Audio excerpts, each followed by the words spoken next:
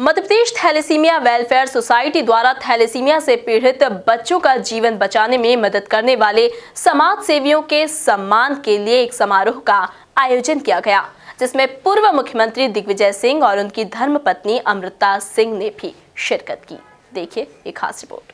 Thalassemia पीड़ित बच्चों का जीवन बचाने में अहम भूमिका निभाने वाले समाज सेवियों के लिए एक सम्मान समारोह का आयोजन किया गया।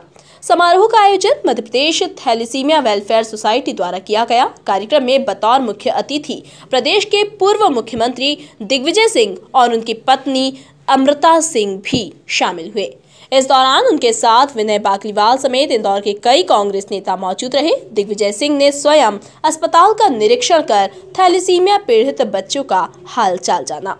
कार्यक्रम को संबोधित करते हुए दिग्विजय सिंह ने बताया कि एमपी सरकार ने थैलीसीमिया को विकलांगता की श्रेणी में शामिल कर लिया है जिससे उन्हें सरकारी नौकरियों एवं शिक्षा में सहूलियत मिलेगी। दुर्भाग्य है कि हमारे कुछ बच्चों को पुश्तैनी तौर पर कुछ बीमारी होती है। जी सर। काफ़ी इसमें रिसर्च हो रहा है। जैसा डॉक्टर साहब ने बताया थैलेसीमिया का कार्यक्रम चल रहा था। थैलेसीमिया का थैलेसीमिया बोन मैरो ट्रांसप्लांट की व्यवस्था सरकारी अस्पताल में हुई है। मैं हाँ मध्य प्रदेश सरकार को इस बात के लिए बधाई देता हूँ। और उसमें भी एक चौथाई कीमत पर हाँ लोगों के बोन मेरो ट्रांसप्लांट मुझे इस बात की प्रसन्नता है कि हाँ। सीएसआर के अंतर्गत कई पब्लिक सेक्टर एंटरप्राइजेज बच्चों के जो बोन। मैरो ट्रांसप्लांट की व्यवस्था है वो निशुल्क कराने के लिए दान भी देते हैं।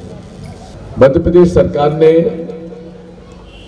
थैलेसेमिया के पेशेंट्स को दिव्यांग की श्रेणी में भी ले लिया है और उन्हें वो सारी सुविधाएँ मिलेंगी सरकारी नौकरियों में इंजीनियरिंग मेडिकल कॉलेज के एडमिशन्स में, और भी जहाँ जहाँ एडमिशन्स में आरक्षण है दिव्यांग का।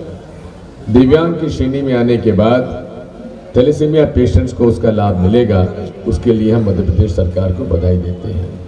वहीं मीडिया से बात करते हुए दिग्विजय सिंह ने कहा कि थैलेसीमिया वेलफेयर सोसाइटी द्वारा थैलेसीमिया से ग्रसित बच्चों का जो उपचार किया जा रहा है, वह प्रशंसनीय है। इसके साथ ही उन्होंने कहा कि उन्हें उम्मीद है कि प्रदेश सरकार और केंद्र सरकार थैलेसीमिया की बीमारी से निपटने के लिए सतत प्रयास करती रहेगी।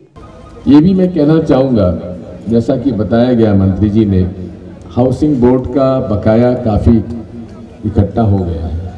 आप इसमें प्रतिवेदन दें। मैं हाउसिंग बोर्ड से भी अनुरोध करूँगा, सरकार से अनुरोध करूँगा कि जो भी बकाया आदि है, जो लीज रेंट बकाया है, उसको भी माफ़ करना चाहिए तो जनहित का काम है। इसलिए उसका भी मैं सरकार से, मुख्यमंत्री जी से अनुरोध करूँगा। आपको बता दें कि थैलीसीमिया बच्चों को माता पिता से अनुवांशिक तौर पर मिलने वाला रक्त रोग है। इसकी पहचान तीन माह की आयु के बाद ही होती है। इसमें रोगी बच्चे के शरीर में रक्त की भारी कमी होने लगती है, जिसके कारण उसे बार बार बाहरी खून चढ़ाने की आवश्यकता होती है। Bureau report, MP news, Indore.